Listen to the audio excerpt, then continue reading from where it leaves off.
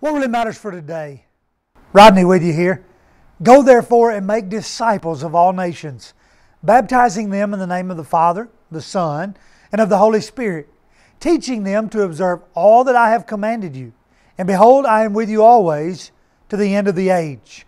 Jesus said that Matthew 28, verses 19 through 20.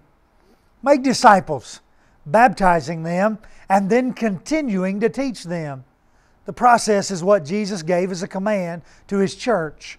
The Christian faith puts a premium on belief. There is a logical priority of belief over practice.